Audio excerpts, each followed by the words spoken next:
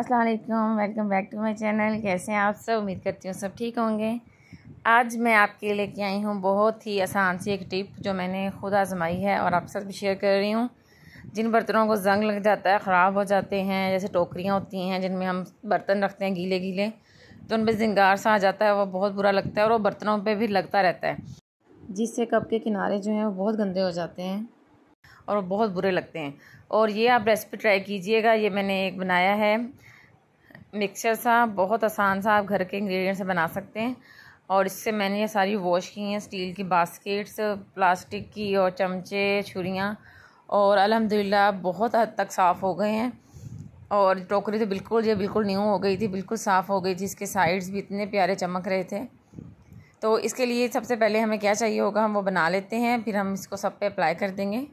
यहाँ मैंने बाउल में दो चम्मच डाला है काला तेल। ये आपको बाज़ार से आसानी से मिल जाएगा। जो लोग सरफ़ की दुकानें जहाँ होती हैं ना, वहाँ पे ये मिल जाता है। काला तेल भी होता है, उनके पास सफ़ेद तेल भी होता है। तो आपने काला तेल ले लेना है। और ये बहुत ज़्यादा इस्तेमाल होता है बर्तनों में, अक्सर सरफ़ में भी ये इसको मिलाया जाता है सरफ़ बनाने के लिए। तो ये आप घर में रख सकते हैं। इससे आप टूटियाँ वगैरह भी साफ़ कर सकते हैं। अपने बर्तन जो काले हो जाते हैं, पराते या वो जो होती है कढ़ाइयाँ, उनसे भी आप ये काले जो तेल है, इसे साफ़ कर सकते हैं। अच्छा यहाँ पे मैंने दूसरा इसमें डाला है baking soda two tablespoon भरकर, और साथ ही मैं इसमें डिश वॉशर जो होता है, वो टू टेबल स्पून ऐड कर रही हूँ। अगर आपके पास ये नहीं है या पाउडर है कोई तो वो आप ऐड कीजिएगा। जिससे हम बर्तन धोते हैं, वो वाला।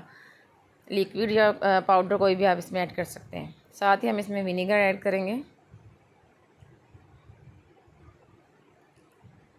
ये सारे पावरफुल इंग्रेडिएंट्स हैं और इससे जो होता है, बहुत अच्छी सफ़ाई हो जाती है बर्तनों की, जो उन पर दाग वगैरह होते हैं वो सारे उतर जाते हैं।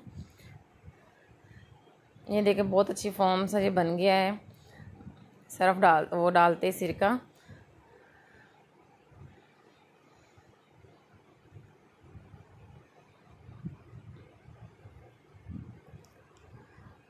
इसमें हम जो होता है ना, सरफ़ कोई भी वो भी हम इसमें ऐड करेंगे टू टेबल स्पून कोई भी डिटर्जेंट आपके पास हो जो आप यूज़ करते हो, खुला हो या पैकेट वाला तो वो आपने टू टेबल स्पून इसमें ऐड करना है, खुशबू के लिए। मिक्सचर हमारा बन गया है, इसमें हमने एक एक्स्ट्रा ब्रश रख लिया है। कोई भी ब्रश आप इसमें रख लें जो एक्स्ट्रा हो, पहले हम सब बर्तनों पे अप्लाई कर देते हैं।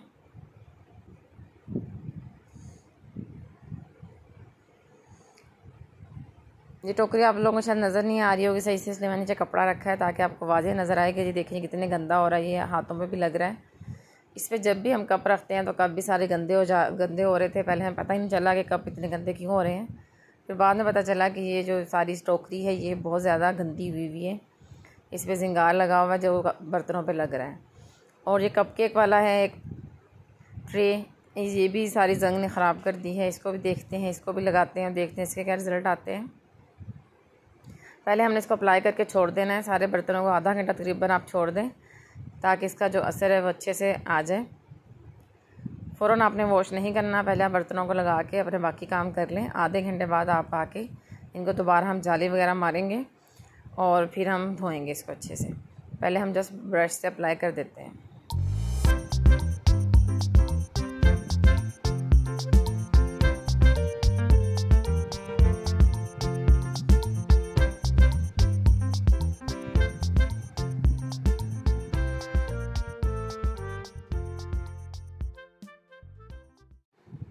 छुरियाँ भी हाँ जो है, बहुत गंदी हो जाती हैं, जंग लग जाता है, इन पर भी काली सी हो जाती हैं तो इनको भी हम साफ़ करेंगे। यही इसी मिक्सचर से। और टोकरी पे भी अच्छे से लगा देंगे जिससे जिससे भी इजीली लग जाए आपसे उससे आप लगा लें।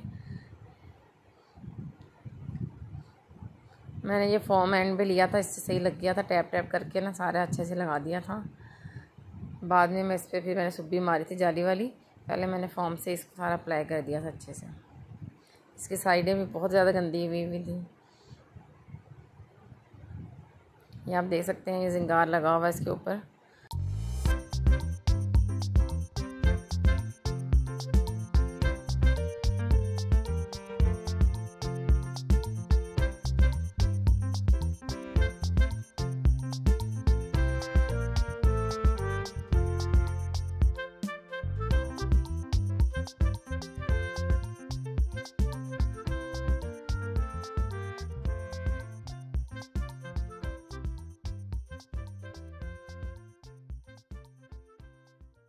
आधा घंटा हो गया है इन सबको हमने जो दवाई अप्लाई की थी, अब हम इसको क्या है, इनको वॉश करेंगे। पहले हम ब्रश से या सुबी जो जाली वाली होती है, उससे अच्छे से हम इसको मस लेंगे ताकि जो एक्स्ट्रा डस्ट है, जो असर निकला है सारा, वो उतर जाए।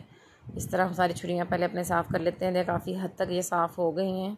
बहुत बेहतर है पहले से। रंग भी बहुत ज़्यादा उतर रहा है इनमें से।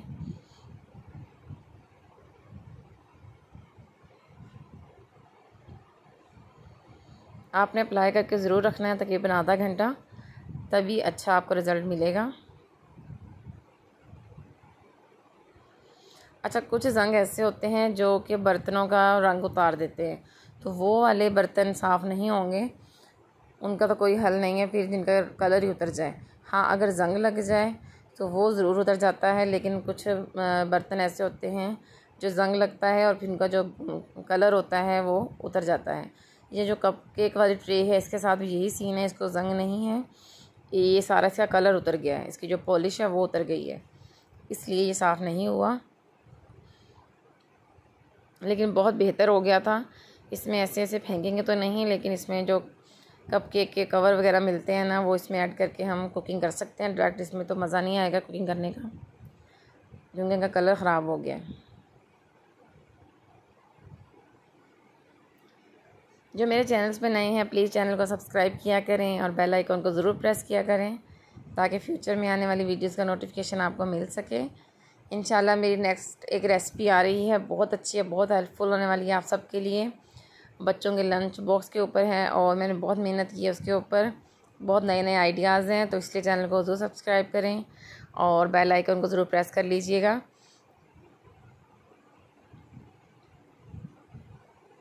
अच्छा बर्तनों में बहुत अच्छी एक चमक और एक शाइन आ गई है।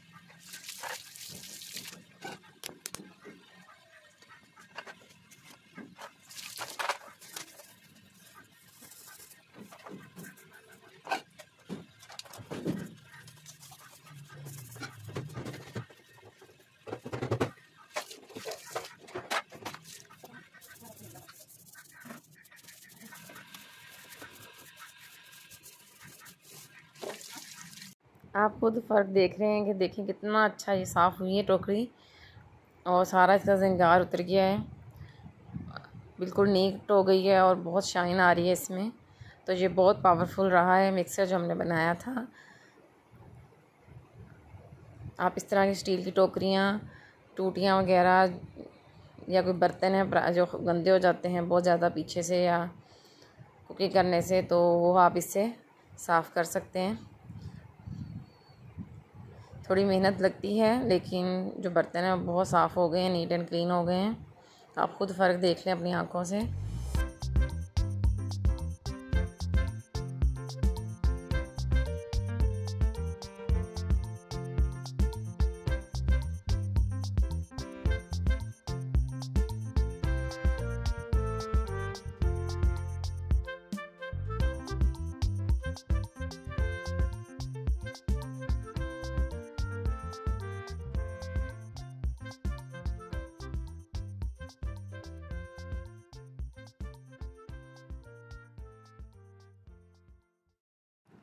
ये देखिए टोकरी को मैंने हर तरफ़ से अच्छे से साफ़ कर लिया है, जितना मेरे से हो सका। और जो माशाल्लाह बहुत बेहतर हो गई है, बहुत साफ़ हो गई है, अगर आपको क्लियर नज़र आ रहा हो तो। और ये बहुत शाइन भी कर रही है। ये देखिए, इसमें बिल्कुल भी जिंगार नहीं है और सारा उतर गया अच्छे से और बहुत साफ़ हुई है ये। मुझे उम्मीद नहीं थी कि इतनी साफ़ होगी, लेकिन ये बहुत ज़्यादा साफ़ हुई है और बिल्कुल भी इस पर अब दाग नहीं है। बाकी टोकरियाँ भी इंशाल्लाह मैं इसी तरीके से साफ़ करूँगी।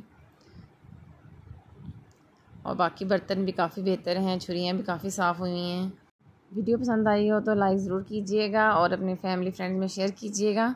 इसी के साथ मैं इजाज़त चाहूँगी, फिर मिलेंगे इंशाल्लाह नई वीडियोस में, नई रेसिपीज़ नए व्लॉग में।